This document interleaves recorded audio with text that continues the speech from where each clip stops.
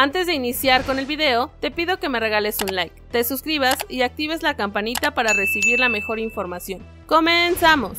Segunda oferta del Galatasaray por Omar Campos. Omar Campos es uno de los mejores laterales de toda la Liga MX. Desde juvenil, el hombre de Santos ha destacado por sus condiciones en ataque, teniendo una llegada en condición de vacío y con el paso del tiempo, el hombre de 20 años ha mejorado su perfil defensivo que de manera natural le costaba en los inicios de su carrera. Desde su condición de novato, Campos tuvo un rendimiento importante, siendo titular en la última final de la Liga MX con el cuadro de Santos pese a no tener más de 20 partidos como profesional. Este hecho ha puesto a Omar en la mira de diferentes equipos. En México, las Águilas del América han hecho un intento este invierno para firmarle, aunque no tuvieron éxito. De igual forma, en el mercado de Europa ya han sondeado el posible fichaje del lateral por izquierda. En específico, es el Galatasaray de Turquía el equipo que aprieta por la firma de Campos. Días atrás informamos que el cuadro del infierno turco puso una oferta formal por el fichaje de Omar. Sin embargo, esta fue rechazado por el cuadro del norte de México. Sin embargo, el Galatasaray no se rinde en sus intenciones por Campos la más reciente información afirma que dicho club ha presentado un segundo ofrecimiento de 4,5 millones de dólares para adquirir al hombre de Santos. Sin embargo, esta cifra aún está lejana a los 6 millones de dólares que desean percibir los de Torreón por el traspaso de su joya. Por otro lado, Santos se trata de reforzar con jugador de Godoy Cruz para el clausura 2023. Santos Laguna intenta aprovechar el mercado invernal de fichajes para llegar con fuerza en el torneo clausura 2023 de Liga MX después de quedarse en cuartos de final pese a culminar entre los primeros cuatro lugares de la tabla clasificatoria en el Apertura 2022. El viernes el plantel de Eduardo Fentanes disputó su último juego de preparación contra los mineros de Zacatecas, a quienes golearon 5 a 0 en el centro de alto rendimiento del territorio Santos Modelo, en un partido que constó de tres tiempos de 45 minutos. Horas más tarde se supo que los laguneros voltean a ver al fútbol de Argentina para buscar refuerzos de cara a su debut en el siguiente campeonato nacional contra Tigres UANL el domingo 8 de enero del 2023 en el territorio Santos modelo TSM. De acuerdo con el periodista César Luis Merlo, Santos Laguna está interesado en el futbolista Gonzalo Abrego, quien milita en Godoy Cruz, club que recibió una oferta por parte de los coahuilenses. Sin embargo, no los convence para darle salida al jugador. Los guerreros proponen un año con obligación de compra, pero al equipo dueño de su pase no le satisface dicha oferta. Sin embargo, el equipo albiverde no dejará de insistir para hacerse de los servicios de quien cumplirá 23 años el próximo 07 de enero del 2023. Gonzalo Abrego jugó 24 partidos como titular en la Liga Profesional de Argentina con Godoy Cruz. Colaboró con dos anotaciones y dos asistencias. Se desempeña como mediocampista y en el 2023 vería su primera oportunidad en la Liga Mexicana. Por último, Ignacio Geraldino se despidió de Coquimbo y regresaría a Santos. Al acabar el año también finalizó la sesión del delantero, quien no tuvo una gran etapa a nivel personal, cuatro goles y una asistencia en 13 partidos, después de haberse entrenado durante las últimas semanas en las instalaciones del club chileno, el atacante se despidió de allí a través de su cuenta de Instagram, por lo que tendría que reportar en las instalaciones de los guerreros, los dueños de su carta, hasta que se defina su futuro. Ignacio Geraldino, quien se define en su perfil de Instagram como jugador de Santos, tendría una importante competencia interna en caso de ser tenido en cuenta por Eduardo Fentanes.